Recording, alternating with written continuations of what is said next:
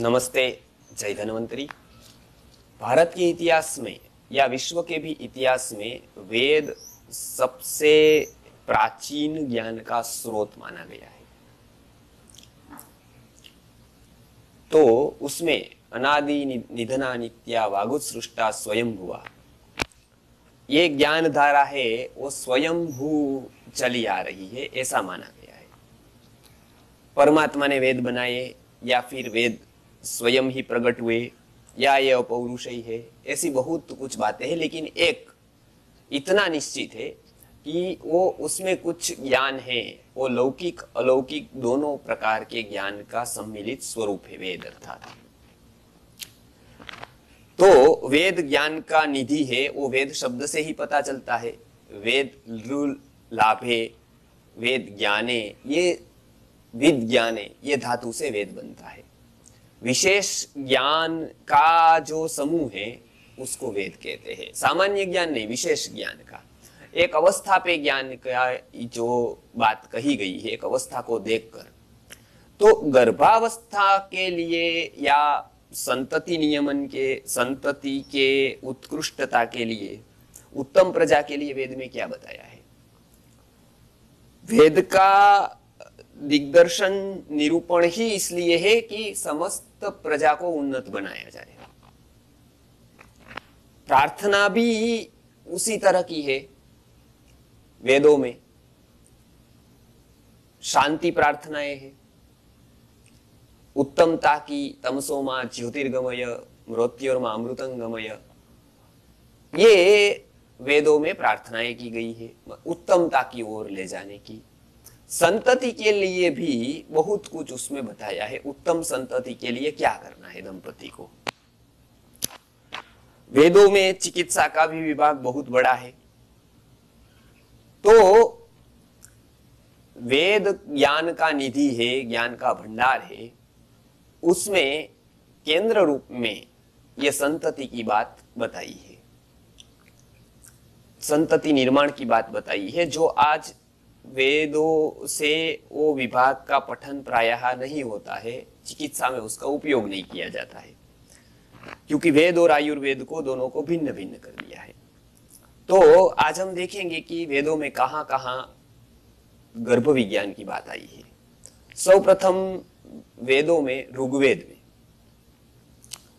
ऋग्वेद में बहुत जगह पर गर्भ विज्ञान की बात बताई है। खास करके गर्भ रक्षा के लिए गर्भस्राव रक्षा सूक्त है, जो बताया गया है ऋग्वेद और अथर्ववेद में। गर्भद ग्रहण सूक्त है जो गर्भ रक्षा के लिए अथर्ववेद के छठे कांड में, उसकी बात आई है, छठे कांड का वो सूक्त है। उसमें केवल चार मंत्र है, लेकिन वो चार मंत्र बहुत ही उपयोगी है। इसका उपयोगिता के बारे में बहुत कुछ प्रयोग गुरुवर्य ने किए थे और उसका ज़िक्र हमने हमारी पुस्तक गर्भ विज्ञान में किया है। वो सुक्त बोल सकते हैं कैसे, उसका हम ऑडियो भी बोलकर दिखाएँगे, उसका पारायण करके दिखाएँगे। लेकिन अभी तो केवल हम बात कर रहे हैं कि उसका कितना प्रभाव है और कितना उपयोग है उसका। तो एक गर्भस्राव, गर्भ, संस्राव में ऋग्वेद का जो मैंने बताया, वो गर्भस्राव रक्षा सूक्त, वो ऋग्वेद के दसवें मंडल पे एक सौ बासठवा सूक्त है। सौ प्रथम जो पुस्तक पाई जाती है, विश्व की, संसार की सर्वप्रथम, जो एक संकलित रूप में, वो ऋग्वेद है। तो ऋग्वेद में है अथर्व वेद में भी बहुत सारे सूक्त है। उसमें मैंने बताया गर्भद ग्रहण सूक्त का हम पारायण करने को कहते हैं, जैसे कि गर्भ की रक्षा हो और गर्भ का विकास हो।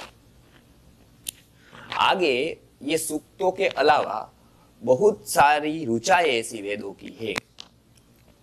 जो चिकित्सा के रूप में प्रयुक्त होती है।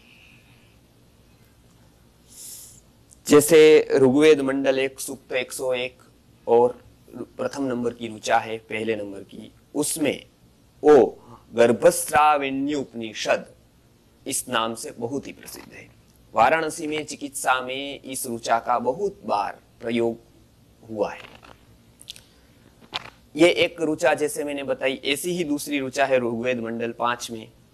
सुक्त अठहत्तर और पाँचवें नंबर की रुचा। ओ, ओम वी जिहिश्व वहाँ से शुरू होती है, उसका पूरा हम उच्चारण करके भी दिखाएँगे। वो उसकी भी आहुतियाँ देनी होती है। उसका विधिवत अनुष्ठान है। तो वो भी गर्भवती स्त्री के विभिन्न रोगों में बहुत ही उपयोगी होती है। तीसरी में बात करूँ तो अथर्ववेद कांड दो, सुक्त दस रुचाचार उसका भी उपयोग गर्भ संबंधित विविध रोगों के लिए किया गया है। और ये ऐसा नहीं है कि एक कल्पना का विषय हो। इसका प्रॉपर एक साइंस है। और विभिन्न रुचाओं का पाठ करने से उसकी ध्वनि से उसकी असर होती है, ये तो आज के युग में हम समझ सकते हैं, क्योंकि ध्वनि की असर साउंड इफेक्ट्स को हम अच्छी तरह से जानते हैं। उसके कारण इतनी टेक्नोलॉजी डेवलप हुई है। कुछ टेक्नोलॉजी अभी हम चल रही है, हम उपयोग उपयोग कर कर रहे हैं साउंड का वेव्स का, तरंगों का, ये सब। तो ध्वनि का विज्ञान, जैसे जैसे समझ में आया विज्ञान को, वैसे वैसे मंत्रों की शास्त्रीयता और वैज्ञानिकता भी सिद्ध होती गई। तो ये वेदों की बात हमने बताई।